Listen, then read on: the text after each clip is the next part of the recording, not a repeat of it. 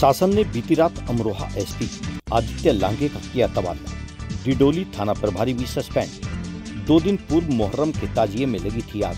दो की जलकर हुई थी मौत। बावन लोग हुए थे घायल।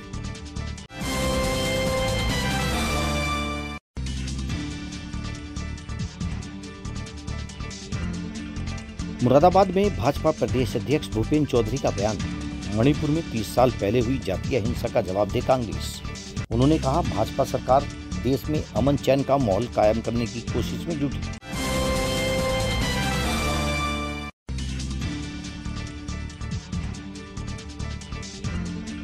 रेहड़ थाना क्षेत्र के गाँव भटपुरा में पशुओं के लिए चारा लेने गई युवती पर गुलदार ने हमला कर मौत के घाट उतारा युवती की मौत से परिजनों में मचा कोहराम। सात महीने में एक दर्जन लोगों की जान ले चुका है गुलदार।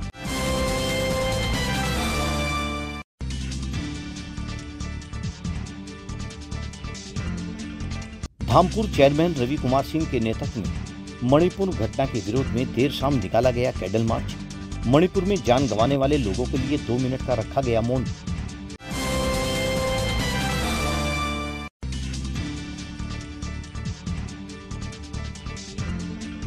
संभल में भीषण सड़क हादसा होने से चार लोगों की दर्दनाक मौत। रोडवेज़ बस ने बाइक को मारी टक्कर।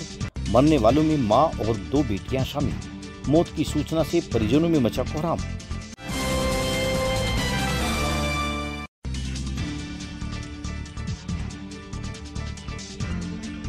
अमरोहा में अलग अलग हादसों में तेरह कांवड़िए हुए घायल।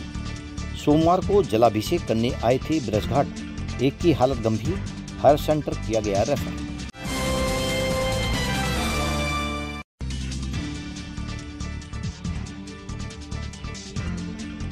किरतपुर में हाईवे के पुल पर खड़े युवक की डिसबैलेंस होकर नीचे गिरने से मौके पर ही मौत।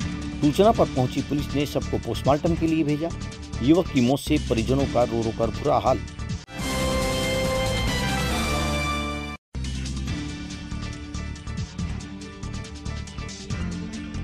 मुरादाबाद में टेंपो स्टैंड पर युवक का शव मिलने से मचा हड़कम कल रात से लापता था, पकौड़ी की दुकान पर काम करने वाला युवक।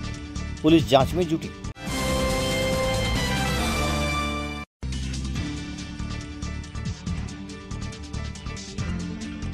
सावन के सोमवार में भक्तों ने शिवालयों में किया जलाभिषेक। शिव मंदिरों में उमड़ी श्रद्धालुओं की भीड़। बोल बम के जयकारों से गूंजे मंदिर।